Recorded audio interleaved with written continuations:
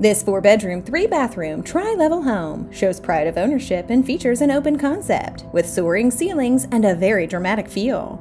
Relax in the living room that boasts a cozy fireplace and large windows. Cook in the kitchen that offers an abundance of counter space, an island, and dramatic lighting.